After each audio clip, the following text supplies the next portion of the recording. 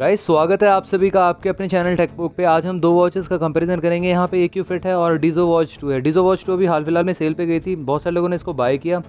और यहाँ पे वैल्यू फॉर मनी है वॉच आपको मिलती मिलती है। गाइस अगर मैं बात करूँ नेक्स्ट सेल इसकी जो होने वाली है ट्वेंटी नाइन सेप्टेम्बर को होगी और आपको ये करीब करीब पाँच सौ रुपये महँगी मिलेगी। यस आपने सही सुना सेल प्राइस पे आपको नहीं मिलेगी।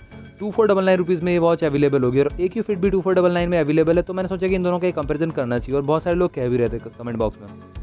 तो गाइज़ वीडियो को स्टार्ट करते हैं। चैनल को सब्सक्राइब कर लेना। बेल आइकन को आप ऑल कर सकते हो। आप हमारे टेकपोक चैनल को टेलीग्राम पे ज्वाइन कर सकते हो। आप टाइप कर सकते हो टेलीग्राम पे सर्च बॉक्स में टेकपोक और आप वहाँ पे हमारा जो चैनल है, उसको ज्वाइन कर सकते हो।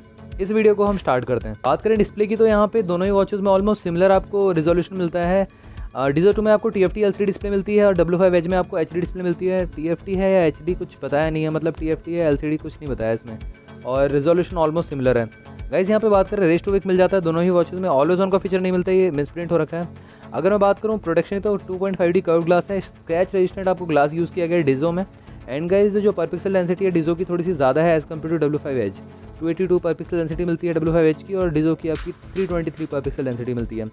बट यहाँ पे डिजो टू में कहीं ना कहीं जब आप अपनी इमेज को लगाते हो, या आप गैलरी में से कोई भी इमेज लगाते हो तो थोड़ा सा यहाँ पे आपको लगता है कि बहुत ज़्यादा श्रिंक्ड है इमेज ये इसीलिए क्योंकि यहाँ पे जो पिक्सल साइज़ है वो कम दिया गया यहाँ पे 320 ट्वेंटी बाई थ्री पिक्सल्स का रिजोल्यूशन होता तो बहुत ही बेस्ट होता।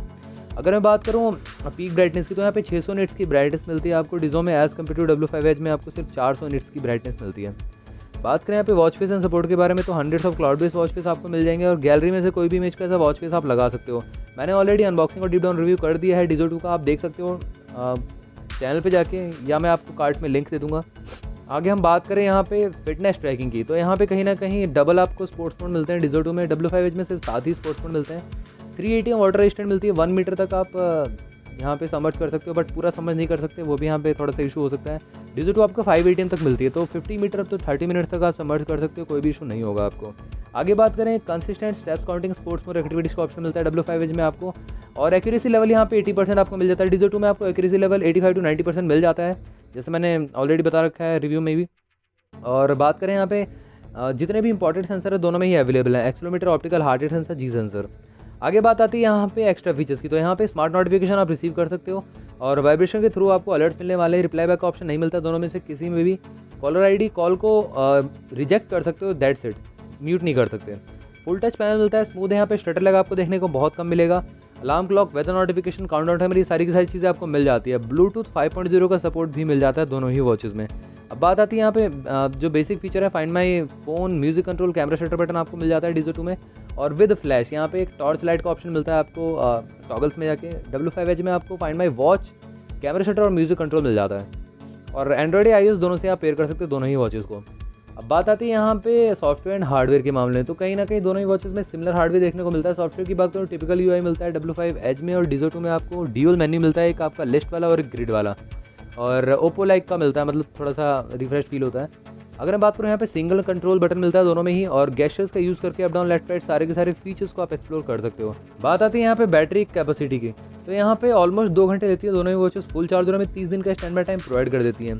बैटरी कैपेसिटी की बात करूँ डब्ल्यू फाइव एच में आपको वन एटी बैटरी का यूज़ किया गया डीजल टू में to be exact two sixty M H battery का यूज़ किया गया है। दस दिन का रन टाइम क्लेम करते हैं ऑन द पेपर दोनों ही वॉचेस मैग्नेटिक चार्जिंग का सपोर्ट मिल जाता है। और गैस एक्चुअल में अगर बात करूँ, सारे के सारे नोटिफिकेशन अगर आप ऑफ़ कर दे तो छः दिन का रन टाइम मिल जाएगा आपको दोनों की वॉचेस से।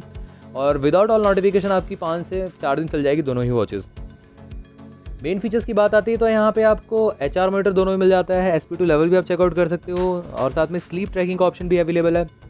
कैलरी बर्न स्टेप ट्रैकिंग का ऑप्शन भी अवेलेबल है। और गए सैनिटरी रिमेंट भी अवेलेबल है ब्रीथ रिलैक्स मोड भी अवेलेबल है डिजो टू में आपको फीमेल हेल्थ ट्रैकिंग का ऑप्शन भी मिल जाता है।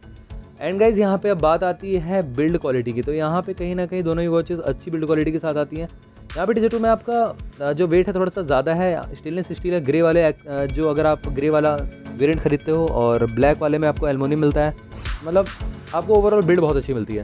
Twenty M M step size है, डिजो टू का डब्ल्यू फाइव एच का, भी आपका twenty two twenty M M है।